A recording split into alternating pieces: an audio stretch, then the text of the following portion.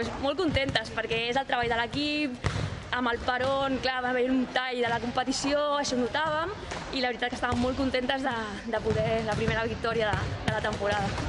Sí, també per, per entrenar més, que és normal amb els confinaments i tot, doncs no totes anem de molins i la veritat que, que els entrenaments seguits, seguits, hem estat parades molta, molta, molta estona i clar, es nota i l'equip necessita entrenaments i a més amb jugadores joves que estan pujant i també adaptant-se a l'equip i la veritat que l'equip s'ho mereix. No, l'objectiu és partit a partit, ho diem sempre.